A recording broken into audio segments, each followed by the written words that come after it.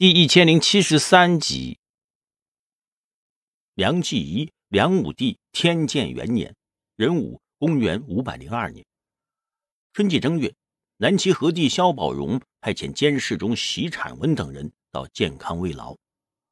大司马萧衍下令，凡是东昏侯时不必要的开支，除了用以抄袭礼乐法度、修缮军事装备之外，其余一概禁绝。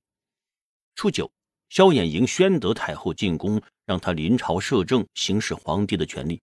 萧衍停止执政。初十，宣德太后任命宁朔将军萧炳兼南兖州诸军事。萧炳是萧衍的堂弟。十二日，宣德太后提升萧衍为都督中外诸军事，特许他可以佩剑穿鞋上殿，以及朝见赞贺可以不报姓名。十九日，宣德太后任命大司马王亮为中书监、尚书令。当初，大司马萧衍与黄门侍郎范云、南清河太守沈约、司徒长史仁方一同在晋陵王的西关邸，彼此情谊甚笃，关系非常密切。到目前，萧衍就推荐范云为大司马资议参军领入事，沈约为骠骑司马，任防为记事参军，遇事都让他们参与策谋计划。前吴兴太守谢斐、国子祭酒何印先前都弃官回家。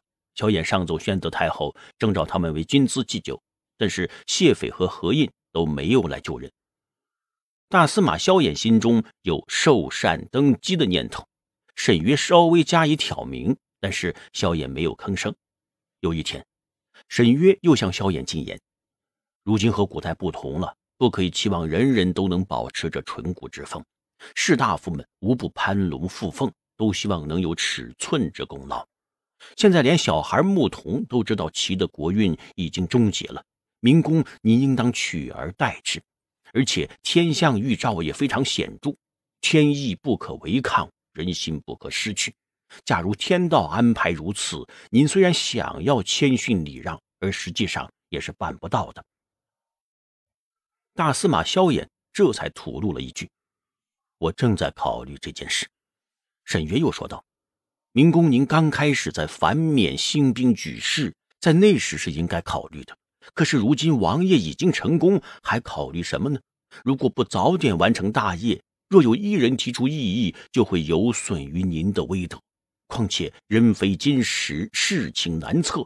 万一您有个什么三长两短，难道就仅仅把建安郡公这么一个封爵留给子孙后代吗？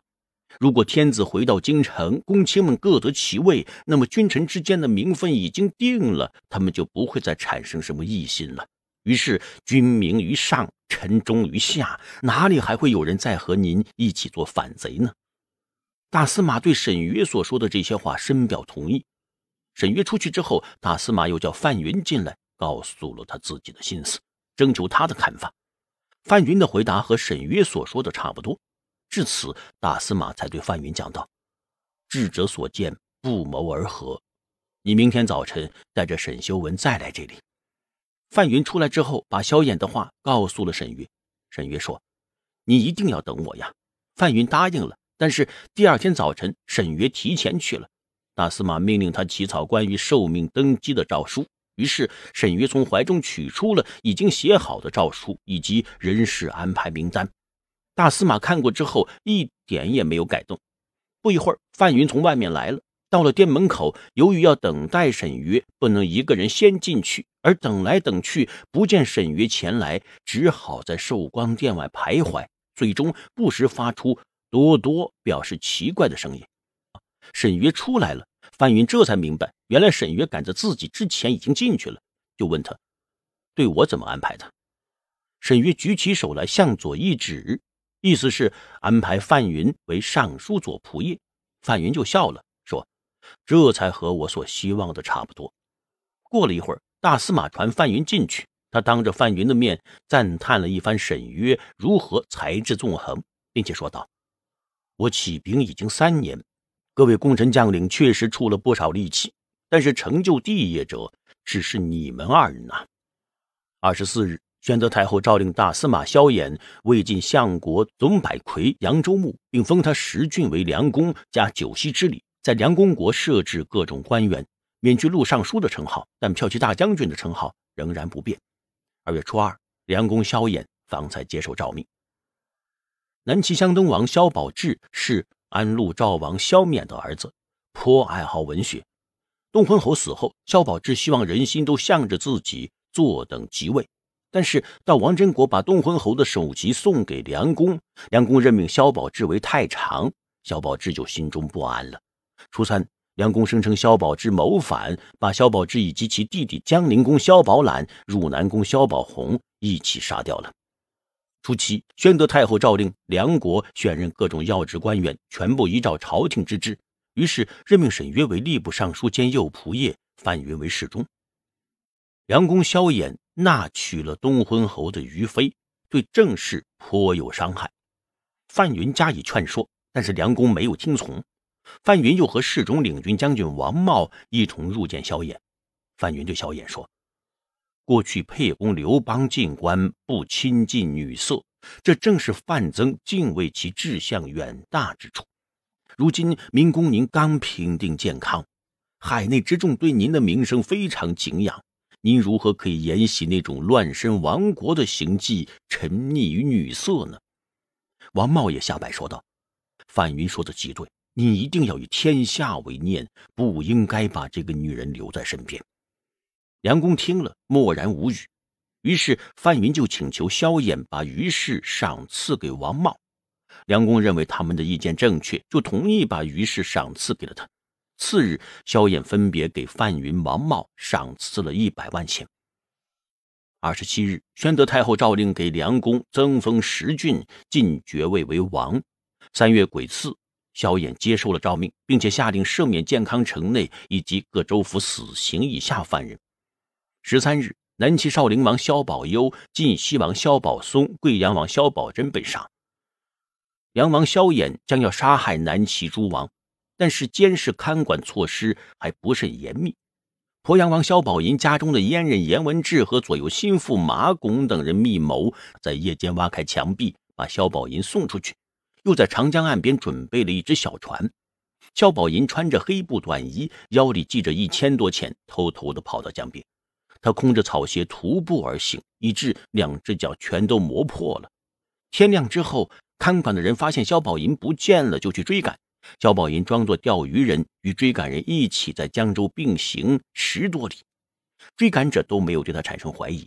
等到追赶人离开之后，萧宝银就在西边靠岸，投奔到了百姓华文荣家中。华文荣同其同族之人华天龙、华惠莲丢弃家业，带着萧宝银逃到山沟里。他们租了一匹毛驴，让萧宝银骑着，昼伏而夜行，来到了寿阳的东城。驻守在这里的北魏戍主杜元伦急忙把情况报告了扬州刺史任城王元成。元成用车马侍卫迎接萧宝寅。当时萧宝寅年龄十六岁，由于徒步而行，所以形容憔悴，见到的人还以为他是被掠卖来的人口。袁成以招待客人的礼节对待萧宝寅，萧宝寅向袁成要为皇帝守丧而穿的生麻布制的丧服。袁成派人对萧宝银小试了一番情理，最后只给了他为兄长守丧而穿的熟麻布制的丧服。袁成率领手下的官吏们亲赴萧宝银住处去吊丧，萧宝银的一举一动表现的与居君父之丧完全一样。寿阳有许多受过南齐救恩的故旧，都来萧宝银处吊唁。唯独不见夏侯一姓的人来，这是由于夏侯祥跟从了梁王萧衍的缘故。元成非常器重萧宝寅，南齐和帝萧宝荣将东归建康，他任命萧瞻为都督荆襄等六州诸军事及荆州刺史。荆州经过战争之后，公私两方在财用方面都非常空乏。萧瞻励精图治，广开屯田，省免劳役。慰问有家人当兵阵亡了的人家，供应接济他们。他自以为年纪轻而居于重任，所以特别用心。对手下的官吏们说：“政事如果没有办好，大家应该共同努力。我现在开诚布公于你们，希望你们也不要有所隐瞒。”于是人人都感到心情舒畅，办事效率大增。民众如有诉讼者，站在一旁等待处理，很快就可以做出决定。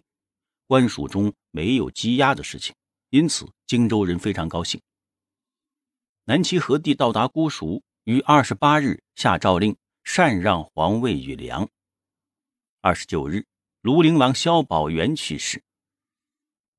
鲁阳的蛮人卢北彦等人起兵攻打北魏颍州。夏季四月二十七日，宣德太后发令，西边的诏令已经到了，皇帝效法前代，把皇位恭敬地禅让给梁。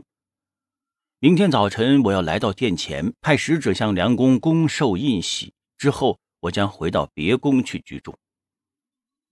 二十八日，宣德太后发出册书，派遣监太保尚书亮王亮等人奉送皇帝印玺到梁宫，并引梁王萧衍与南郊即位登基，大赦天下，改年号为天监。